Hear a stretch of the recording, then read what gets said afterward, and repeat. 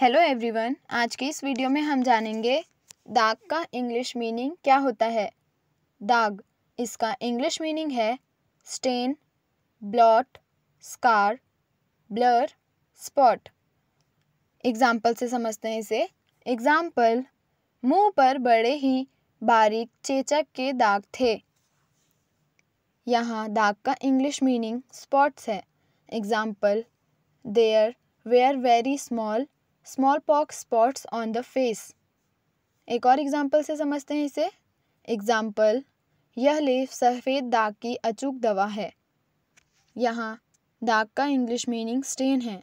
Example this paste is an infallible medicine for white stain इसी के साथ आज के इस वीडियो में बस इतना ही। ऐसे ही और मीनिंग्स जानने के लिए हमारे चैनल को सब्सक्राइब करें और वीडियो को लाइक करें।